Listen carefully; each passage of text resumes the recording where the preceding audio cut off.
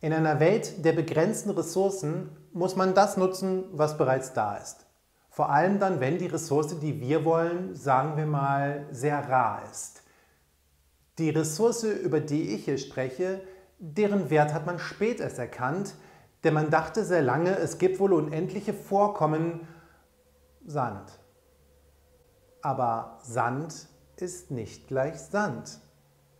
Und ich weiß, dass ihr darüber jetzt bestimmt nicht gerade staunen wollt.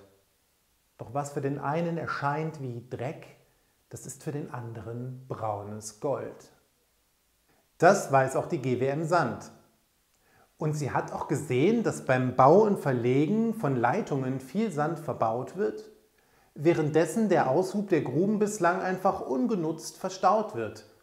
Und das verstopft Deponien und verschwendet Ressourcen, doch Bisher gab es keinen anderen Weg, bis die GWM sagte, das glauben wir nicht und dann zeigte, dass es doch anders geht.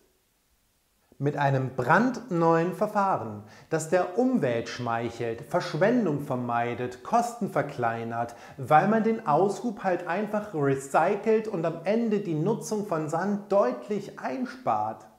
Gar nicht mal so wenig, ganze 4,4 Millionen Tonnen pro Jahr. Und das Beste ist, dieses Projekt und Verfahren ist bundesweit übertragbar. Das GWM Sand-Projekt zeigt, dass es lohnend ist, nicht immer die alten Wege zu gehen. Denn wenn man genau hinschaut, kann man sie sehen, die nachhaltigen Synergien.